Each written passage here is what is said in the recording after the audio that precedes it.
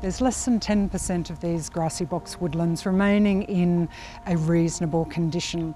So it's really important ecologically and for that vegetation community to know how to manage that because there's not much left.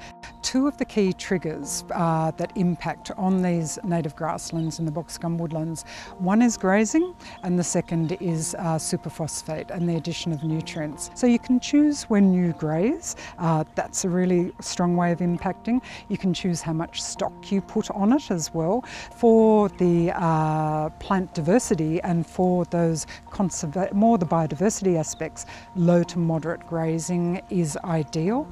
Low stocking density Continual grazing seems to be really good for those uh, native plants and animals.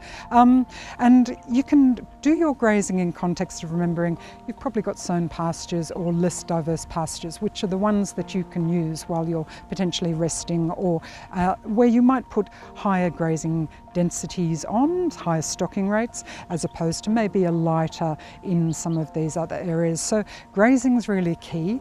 The other is superphosphate. Now, you know, the addition of super has been fantastic. It's made things really productive, but people are re-evaluating it now and they're having a second think about it. It costs a lot of money and you may not get that sort of return that you want. Um, you can just put super down, but in fact you don't get really a response. So to start thinking about your superphosphate use. Uh, so a lot of people now are tending to either concentrate their super use on those more productive paddocks, so maybe your sown or your cultivated pastures, because the thing is, once you put super on these really diverse high with lots of wildflowers and so on the annual grasses and the exotics really love it. So brome and ryegrass and, and vulpia and silvergrass, all those sorts of things, they really love that. They outcompete our native plants and you, you, lose that diversity. So managing your nutrients, thinking about your, your addition of superphosphate, where you might put it